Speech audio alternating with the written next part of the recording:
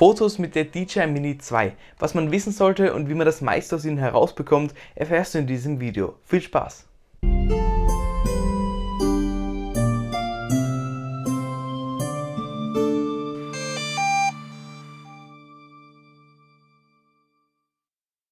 Schauen wir uns zuerst gleich die Formate an, in denen die Mini 2 die Fotos überhaupt aufnimmt. Das wären nämlich JPEG und RAW. JPEG-Fotos sind von der Dateigröße generell sehr klein und brauchen deswegen nicht so viel Speicherplatz. Jedoch bieten sie fast keinen Spielraum für die Nachbearbeitung. Für Social Media reicht aber diese Qualität meistens aus. Wem aber Nachbearbeitung am Herzen liegt, sollte sich auf jeden Fall die RAW-Fotos anschauen. Die RAW-Fotos der DJI Mini 2 werden im DNG-Format aufgenommen und bieten viel Spielraum für die Nachbearbeitung. Wichtig sind sie zum Beispiel bei Sonnenuntergängen bzw. Situationen mit starkem Lichtunterschied. In RAW-Fotos werden nämlich alle Details des Chips unkomprimiert gespeichert. Deswegen bekommt man mit ein bisschen Nachbearbeitung aus solchen Fotos solche Ergebnisse.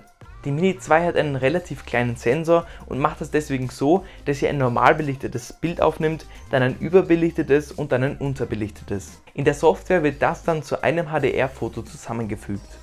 Eine andere Methode, um solche HDR-Fotos zu bekommen, wäre es, dass man in den AEB-Modus wechselt, in welchem die Kamera auch drei Fotos ganz schnell hintereinander aufnimmt. In der Galerie wird dann ein Bild mit einer AEB-Markierung angezeigt, damit ihr wisst, dass sich insgesamt drei Fotos auf der SD-Karte befinden. Diese drei Fotos muss man nur noch in der Nachbearbeitung zusammenfügen. Eine andere Möglichkeit, die ich persönlich am meisten verwende, wäre, dass man die Fotos einfach manuell macht. Dann kann man nämlich mehr als drei Fotos machen und hat somit einen höheren dynamischen Umfang. Ich mache das so, dass ich nach jedem ganzen Stopp im Plus- und Minusbereich ein Foto mache.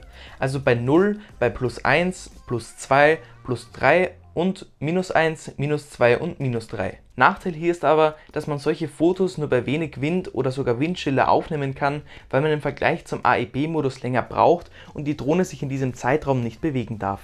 Auf der SD-Karte hat man dann alle diese Fotos und muss sie eigentlich nur noch zusammenfügen. Das geht sehr schnell und ist relativ einfach. Zeigen werde ich es euch in Photomatics und in Lightroom. Beginnen wir gleich mit Photomatics. Dieses Programm ist genau fürs Zusammenfügen von solchen Fotos gedacht. Zuerst geht ihr auf Load Bracketed Photos und navigiert zu dem Ordner mit euren Fotos.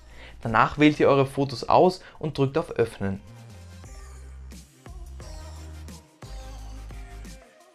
Wenn ihr eure Einstellungen so angepasst habt, wie sie für euch passen, also zum Beispiel weniger Rauschen im Bild eingestellt habt, müsst ihr eigentlich nur noch alles bestätigen und das Programm erstellt automatisch ein HDR-Bild. Jetzt könnt ihr noch ein paar vorgefertigte Vorlagen verwenden und das Bild selbst anpassen.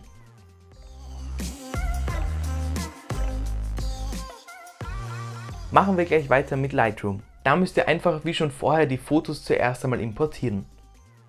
Danach markiert ihr alle eure Fotos und macht einen Rechtsklick. Unter Zusammenfügen von Fotos fügt ihr sie dann einfach alle als HDR-Bild zusammen. Links seht ihr außerdem gleich die Vorschau, wie das Bild später aussehen wird. Jetzt könnt ihr noch, falls noch irgendetwas wäre, die Geistereffekte entfernen und müsst nur noch das HDR-Bild zusammenfügen. Dann müsst ihr eigentlich nur noch euer Bild so bearbeiten, wie ihr es wollt oder die vorgefertigten Presets verwenden.